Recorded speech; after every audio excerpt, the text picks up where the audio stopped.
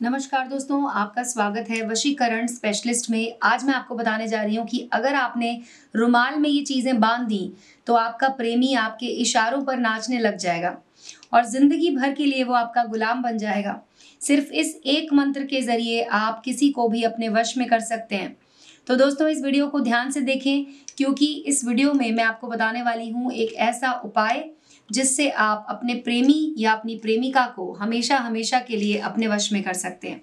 सबसे पहले आपको क्या करना है? एक रुमाल लेना है जो कि आपका इस्तेमाल किया हुआ होना चाहिए। अगर आप लोग रुमाल इस्तेमाल नहीं करते हैं तो आपको क्या करना है? बाज़ार से एक नया रुमाल लेकर आना है। उससे आपको अपना हाथ, मुँह अच्छे से पोछ लेना है ताकि आपकी गंध उस रुमाल के अंदर आ जाए और उसके बाद आपको उस रुमाल का इस्तेमाल करना है। अगर पुरुष इस कर रहे हैं तो भी रुमाल का इस्तेमाल करेंगे, और अगर कोई महिला इसे कर रही है इस उपाय को तो उन्हें भी रुमाल का ही इस्तेमाल करना है। बस वो जेंट्स रुमाल की जगह फीमेल हैंकी इस्तेमाल कर सकते हैं। तो इस तरह से पूर्व दिशा में मुख करके बैठ जाइए, अपने सामने रुमाल को रख लीजिए, और उसके बाद आपको अपने प्रेमी की फ़ोटो ले लेनी है। फ़ोटो याद रखिएगा कि तीन साल से ज़्यादा पुरानी नहीं होनी चाहिए। मैं यहाँ पर आपको इस कागज़ से ये विधि करके बता रही हूँ, प्रैक्टिकली इसलिए बता रही हूँ ताकि आप लोग किसी भी तरह की कोई गलती ना करें। इस उपाय को करने के लिए आपको उनका एक फ़ोटो चाहिए होगा, जो तीन साल से ज़्यादा पुराना नहीं होना चाहिए। उसके बाद आपको थोड़े से चावल लेने होंगे, उसे अपने सामने रख लीजिए और उसके बाद रुमाल पर आपको एक यंत्र बनाना है। दोस्तों, जो भी उपाय हमारे चैनल पे आपको बताए जाते हैं, वो शास्त्र, तंत्र शास्त्र के हिसाब से बताए जाते हैं। तो अगर आप कोई भी तंत्र विद्या कर रहे हैं तो उसमें आपको मंत्र बोलना बहुत ज़रूरी है, क्योंकि तंत्र और मंत्र जब एक साथ मिलते हैं तो बहुत ही शक्तिशाली उपाय बनता है और वो बहुत जल्दी काम करता है।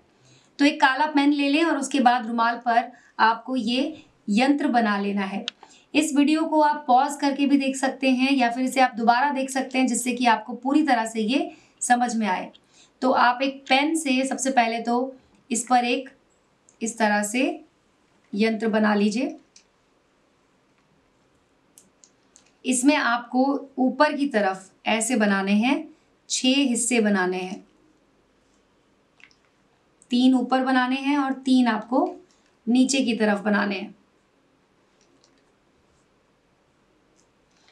अब हर एक खांचे के अंदर आपको लिख देना है ह्रीम और दोस्तों, बीच में आपको लिखना है ओम ह्रीम क्रीम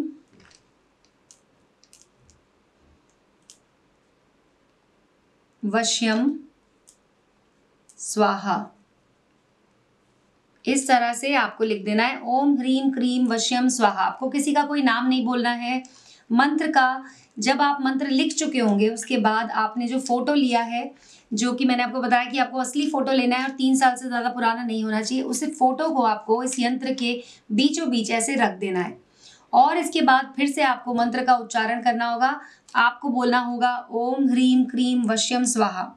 और जितनी बार आप मंत्र बोलेंगे, इस फ़ोटो के ऊपर आपको चावल का दाना रखना है। याद रखें, जब भी आप चावल का दाना रख रहे होंगे तो आपको पहली उंगली का इस्तेमाल नहीं करना है। आपको इस तरह से ये तीन उंगलियाँ, जो हम हवन के समय इस्तेमाल करते हैं, इन उंगलियों का इस्तेमाल करते हुए चावल को उठाना है।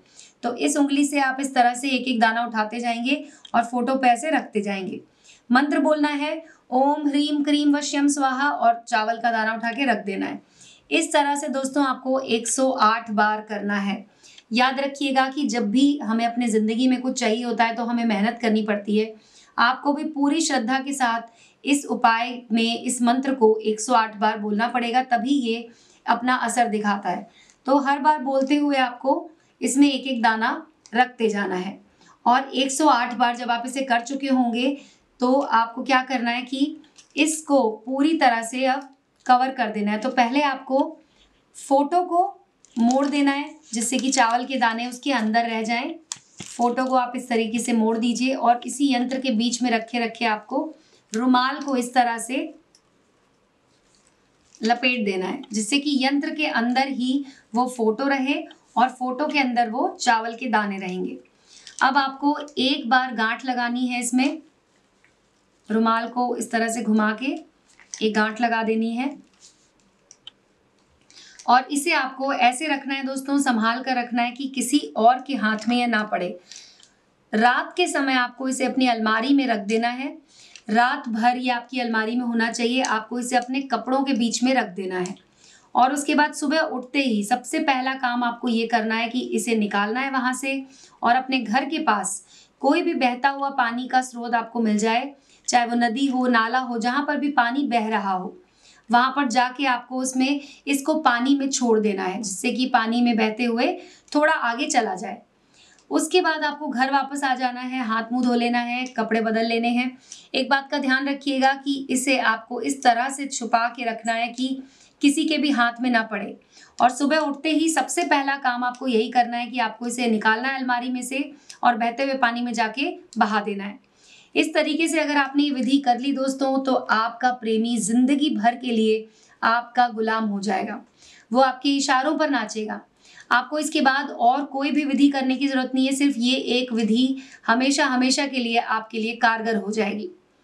तो दोस्तों, आप इस विधि को कीजिए। एक बात का ध्यान रखिएगा, हमारे वीडियो के कमेंट सेक्शन में बहुत सारे लोग अपना नंबर लिख देते हैं। आपको उस नंबर पर कॉल नहीं करना है।